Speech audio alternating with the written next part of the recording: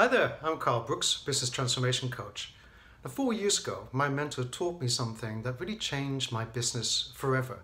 It also changed my life and how I think and approach people when I'm talking about my work, but also how I literally present myself at networking events and around the world. The thing that what I love about this particular insight the most is that it really changed my perception about how I introduce myself how I attract the right clients to want to reach out to me, but also how I create effective marketing and compelling advertising that really speaks to the hearts and the minds of my clients. What is that thing? Well, it's not what you think many of the, the reasons that we get into business because we want to teach our expertise and our experiences to our clients. Particularly as a coach, as a thought leader, I find quite a lot of the time that my business is taken up maybe about 60% of the time teaching what I know, you know, revealing my secrets and learnings from the last 10 years in business. But the one thing that is the most important is not so much teaching people how to do things, but actually this one secret that I learned from my coach. And that is to inspire, inspire your clients to become better people, to improve the quality of their life.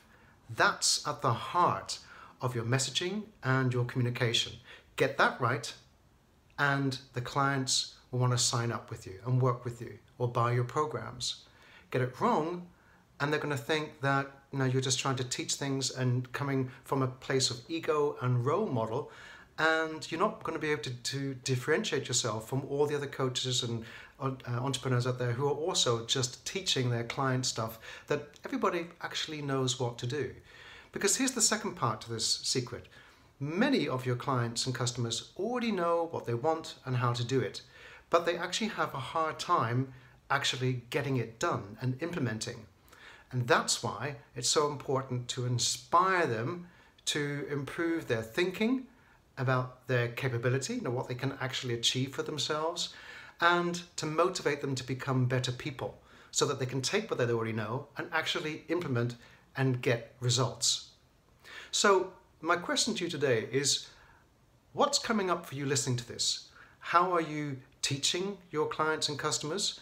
And in what ways are you inspiring them to believe in themselves, to take what they know and actually to change their thought processes so that they can be better clients or even better entrepreneurs. Whatever it is, I want you to really review your marketing and see where you are teaching and where you are inspiring.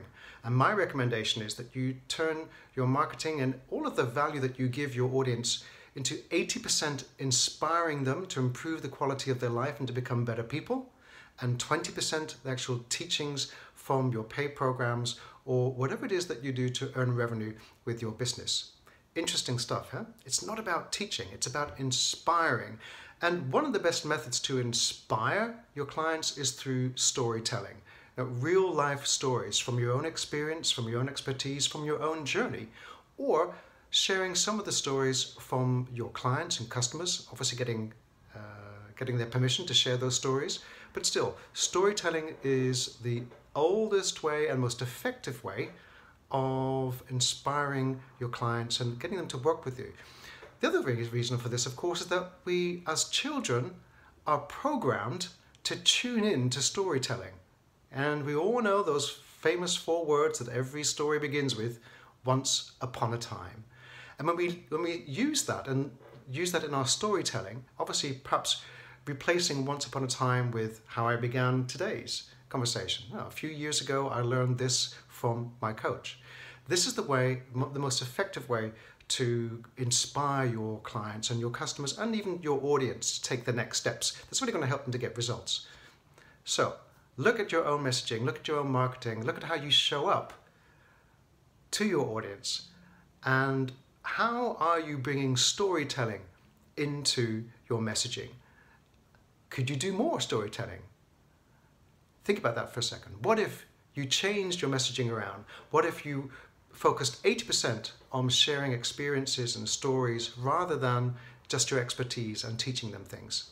I'd love to hear from you what your insights and aha moments are from this video today.